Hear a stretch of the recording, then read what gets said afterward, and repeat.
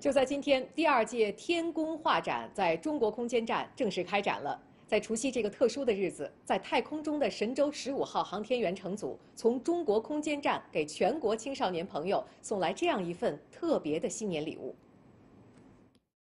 本届画展以“画美丽中国，画美好生活”为主题，分为“强国印记”“华夏神韵”“圆梦征程”“幸福味道”四个板块，共有来自全国十七个省市区和香港、澳门特别行政区的四十幅青少年绘画作品亮相天宫。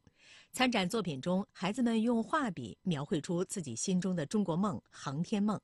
据介绍，天宫画展迄今已连续举办两届，首届画展于二零二二年元旦在中国空间站举办，让十一个中西部打赢脱贫攻坚战重点地区孩子的航天梦想绽放太空。按计划，手牵手望天宫线下活动今年将全面展开。此次在天宫展示的作品，后续将随神舟飞船返回地面。主办方将择机举办地面画展，并邀请获奖青少年和优秀指导老师代表到发射场现场观看火箭发射，与航天人开展对话交流活动。